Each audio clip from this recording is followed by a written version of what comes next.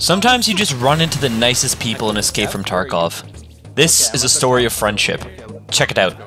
One of my teammates got killed by a PMC sniper, so after taking him out, we made our way to the rogue camp. On our way, we had the most random encounter. Check it out. Who's that all the way- staring at us? Hey, it is a Scav. He's suspicious. Since he didn't fire at us, we figured he'd be friendly, so we decided to befriend him. okay, he's cooperating, that's good.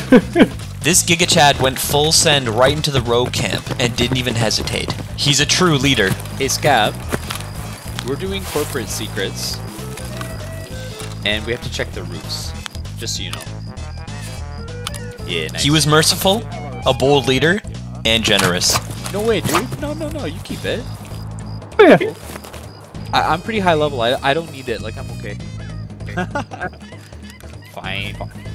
On our way to the train extraction, something unimaginable happened. Oh yeah, train is probably gone. It's too. Don't go that way, don't go that way! Mine's, mine's, mine's, mine's, no, mine's. no, no, mine's, mine's. It's easy to survive one explosion, but once you hit that second landmine, it's all over. They ask you how you are, and you just have to say that you're fine when you're not really fine, but you just can't. We will never forget you, Scav. Your memory will live on with the three of us. I'm dead. Uh, the two of us. I killed the Scav. Where, They ask you how you are, and you just have to say that you're fine when you're where you?